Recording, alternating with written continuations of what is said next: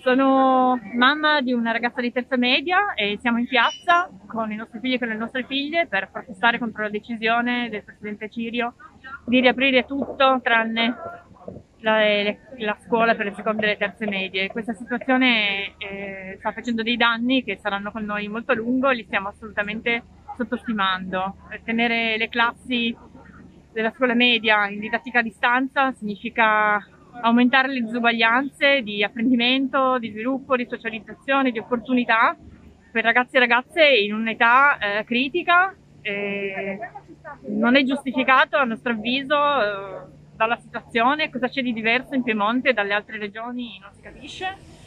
abbiamo oltretutto anche il timore che ehm, se adesso si dà questa situazione, tutto il resto apre, questo comprometta anche la riapertura delle scuole a gennaio.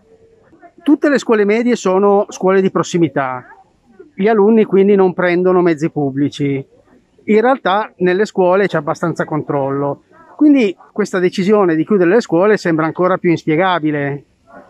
Assolutamente sì, assolutamente sì. Mi sembra che da un lato si sottovalutino i danni del tenere i ragazzi a casa e dall'altro si sopravvalutino i rischi di eh, avere delle infezioni, dei contagi nell'ambito scolastico. Anche su questo una delle richieste che facciamo al Presidente Cirio, alla Regione Piemonte, è di chiarire su quali basi questa decisione è stata presa, perché così le scuole medie sono principalmente scuole di prossimità.